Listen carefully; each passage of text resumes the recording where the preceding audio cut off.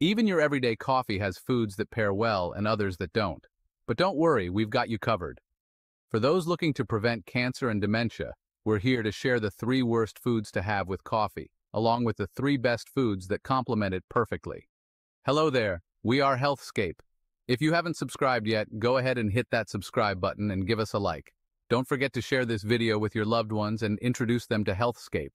We promise to keep bringing you the best health tips.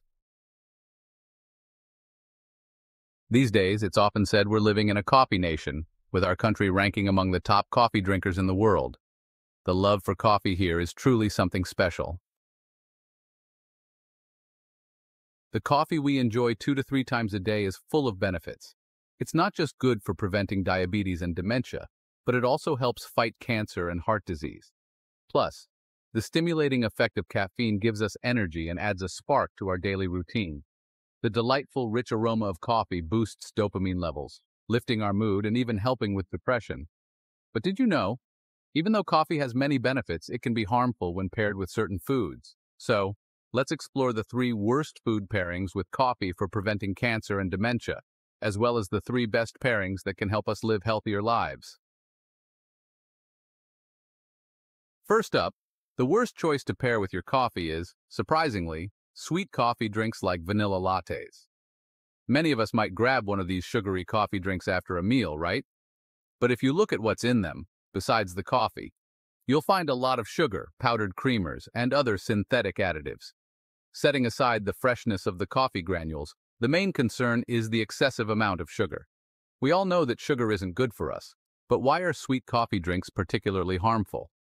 The key issue is that they're often consumed right after a meal. Picture this. You've just eaten, filling up on carbs and sugar, which raises your blood sugar levels.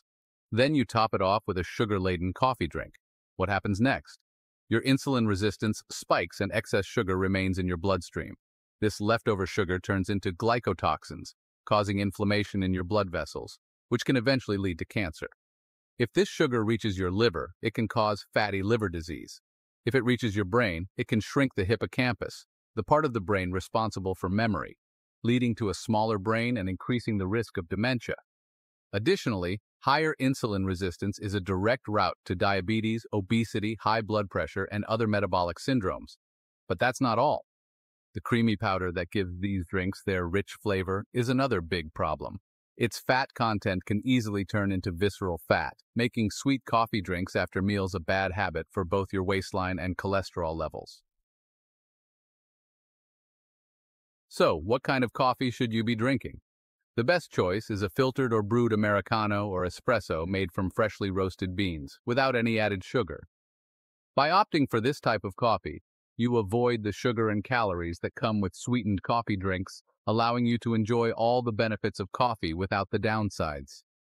Drinking two to three cups of quality coffee each day is really beneficial for your health.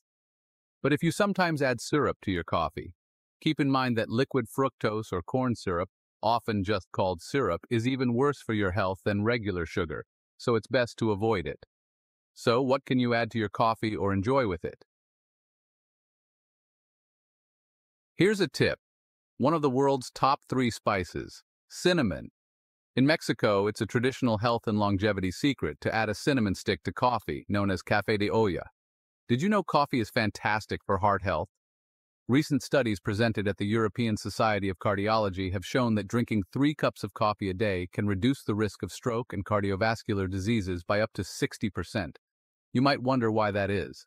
Well, coffee is packed with antioxidants called polyphenols. In fact, coffee contains three times more polyphenols than green tea and nine times more than black tea.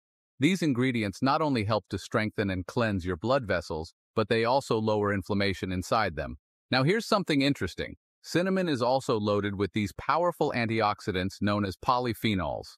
When you mix coffee and cinnamon, they work together to create an amazing effect.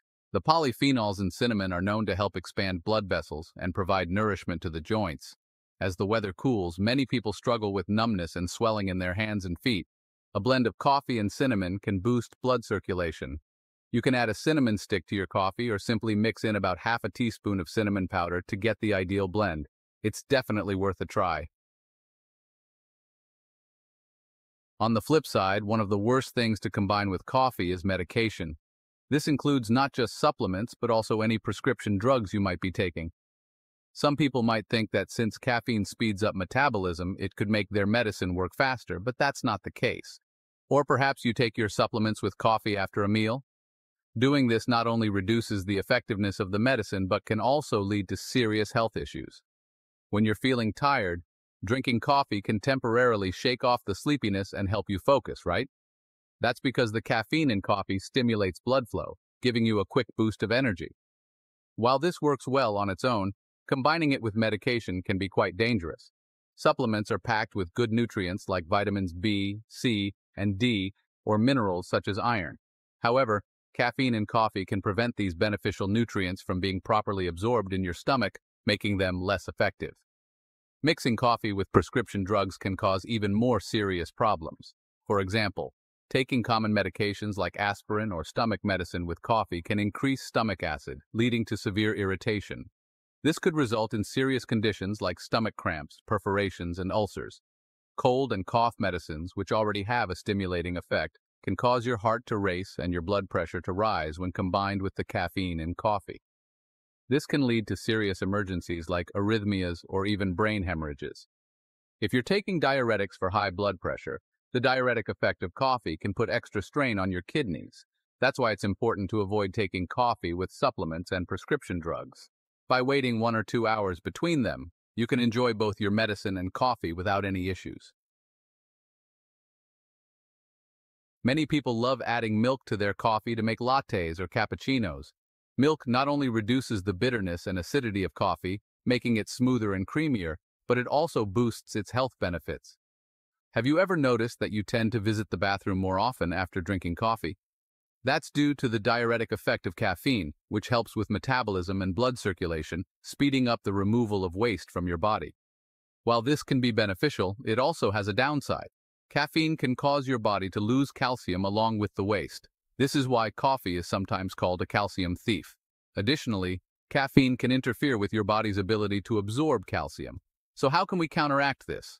by pairing coffee with the king of calcium, milk. Even though caffeine can cause calcium loss, the high calcium content in milk ensures that you can enjoy your coffee without any worries. Additionally, the bitter and acidic nature of coffee can stimulate the production of stomach acid. Milk helps by forming a protective layer in the stomach and neutralizing the acidity, making it a great addition to your coffee. Plus, the protein in milk enhances the nutritional value, making milk and coffee a perfect match. Now, the third worst food to pair with coffee might surprise you. It's chocolate. A slice of sweet chocolate cake with a cup of Americano might sound delightful, and there are even coffees drizzled with chocolate syrup, like a chocolate frappuccino. Some people even pair dark chocolate with coffee as part of their diet. But hold on. Coffee is known to help with weight loss, but do you know why? It's because of something called brown fat. When we think of fat, we usually think of the kind that causes weight gain, like visceral fat which stores extra nutrients as white fat in your body.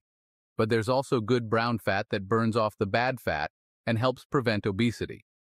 Remarkably, caffeine in coffee stimulates this brown fat, aiding in weight loss. Caffeine also speeds up your metabolism, helping to burn fat faster. However, here's the problem. While it might seem like pairing dark chocolate with coffee would boost your diet efforts, it can actually cause serious issues. The reason is that both chocolate and coffee are loaded with caffeine. When you consume them together, you end up with an excessive amount of caffeine. The American Heart Association warns that too much caffeine can cause overstimulation, increasing the risk of heart attacks due to arrhythmia. So, from now on, it's best to enjoy chocolate and coffee separately. But what snacks go well with your coffee? Did you know that coffee is fantastic for brain health and can help prevent dementia? It's true. The caffeine in two to three cups of coffee a day can actually prevent the formation of tau proteins, which are linked to dementia. Plus, the antioxidants in coffee protect and even help regenerate brain nerve cells. This means coffee can enhance your cognitive abilities and memory, and it's excellent for preventing dementia, Alzheimer's, and Parkinson's disease. And it gets even better. Pairing nuts with your coffee creates a powerful combination. Did you know that our brain consumes about 20% of our body's energy? That's why it's so important to nourish it with the right nutrients. Nuts like walnuts, almonds, and peanuts are not only packed with various nutrients, but are also rich in unsaturated fatty acids that activate brain cells. This doesn't just improve your memory, it also helps clear fats from your blood vessels, improving circulation. Better blood flow means more oxygen for your brain. So next time, grab a handful of nuts with your coffee. It adds a tasty nutty flavor and boosts your health too. So far, we've covered the three worst and three best food pairings with coffee. Now let's wrap it up. Instead of sugary mixed coffees, opt for a good brewed or filtered coffee, and try adding a sprinkle of cinnamon or nutmeg for a healthy twist. Avoid taking supplements or prescription drugs with your coffee. Instead, enjoy it with milk. Skip the chocolate and pair your coffee with nuts to boost your brain health. How does that sound? I hope that by choosing the right foods to enjoy with your coffee, you'll take great care of your health. Thank you so much for joining me today. If you found these tips helpful, please don't forget to subscribe and hit the like button, and be sure to share this with your loved ones. I'll always wish for your health and happiness. This has been your Healthscape. Thank you.